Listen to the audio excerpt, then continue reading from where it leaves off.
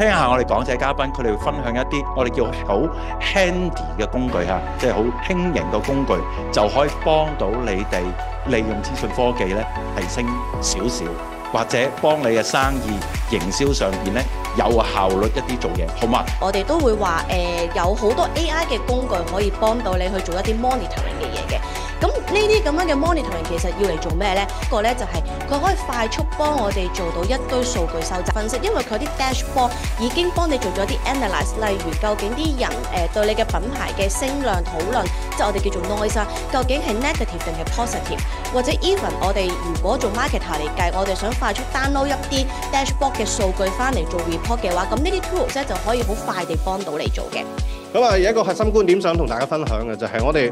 同過好多嘅唔同嘅企業或者係各行各業嘅朋友嚟到去分享，就係話誒，我哋到底係去擁抱一個未成熟嘅誒創新，定係話去懷疑佢，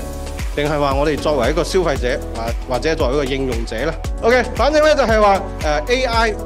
唔會替代你，但係一個用 AI 嘅人，佢肯定會替代你。咁所以咧，我哋有三個方案內容或者類別咧，我哋可以喺呢個計劃入邊咧，就可以涵蓋到去資助到大家嘅。咁第一隻咧就係一個電子支付系統啦，同埋店面銷售啦。咁希望大家做生意更加方便啦。咁第二就係喺線上邊推廣，可以喺網上面做啲宣傳推廣。第三咧就係啲客戶管理同埋一啲優惠系統咁樣嘅。開始希望慢慢經濟上翻嚟啦，營銷做好啲啦，有啲咩 tips 俾大家？當然啦，就係、誒、其實大家而家咧數碼轉型，其實而家已經有好多唔同嘅選擇俾大家可以應用唔同嘅方案。咁亦都咧比以往咧嘅費用啊，或者係比而家係比以往係低好多噶啦。咁所以大家咧即係可以去睇睇，亦都咧我哋政府嗰邊有呢個資助嘅時候咧，睇下點樣大家好好利用啦。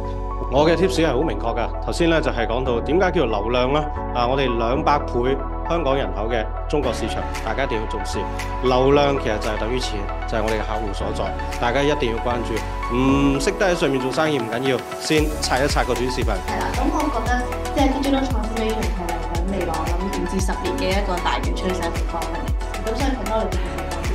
哦，好啊。